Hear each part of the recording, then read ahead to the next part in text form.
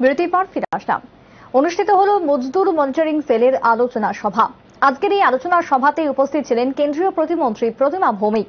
মজদুর monitoring সেলের উদ্যোগে আজকের এই আলোচনা সভাটির আয়োজন করা হয়। বর্তমান সমাজ এবং অঙ্গনওয়াড়ি কর্মী বিষয়ে আজকের এই আলোচনাটি অনুষ্ঠিত হয়। যে আলোচনা চক্রে আলোচনা সভায় উপস্থিত ছিলেন কেন্দ্রীয় প্রতিমন্ত্রী প্রতিমা ভৌমিক এবং তার পাশাপাশি মজদুর মনিটরিং সেলের কর্মকর্তারা উপস্থিত ছিলেন। আজকের এই আলোচনা সভাতে।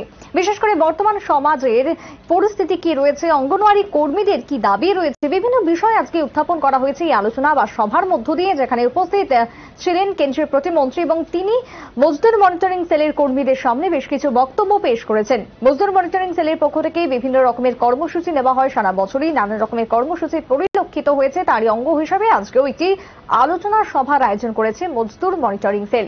ইতিমধ্যে আজকের এই অনুষ্ঠানে আলোচনা চক্রে উপস্থিত থেকে কি বক্তব্য রেখেছেন কেন্দ্রীয় প্রতিমন্ত্রী প্রতিমা ভৌমিক? শুনুন। যে দিনগুলো আমি থাকতে পারব, তখন থেকে আমি পুরো কি কি চলছে আপনাদের নিম্নমানের মোবাইল হয়েছে সেটা আমি কথা বলেছি সরকারের সাথে। আপনাদের ছয় মাস সাত মাস ধরে আপনাদেরকে বিল দেওয়া হয় না, সেটা আমি কথা বলেছি।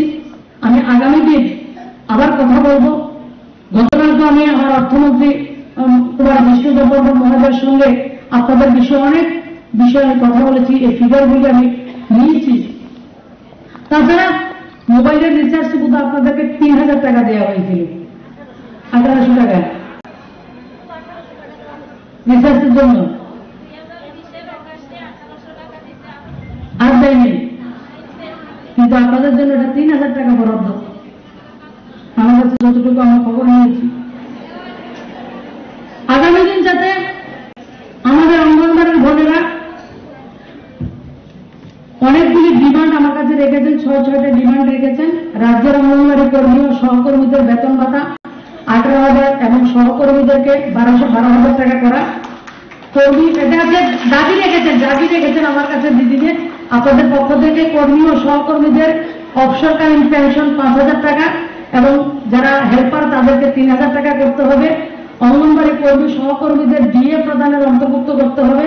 অঙ্গনবাড়ি কর্মীদের যোগ্যতা অনুসারে সুপারভাইজার পদে নিয়োগ করা এবং অগ্রগণী আহ, ভূমিকা দিতে হবে।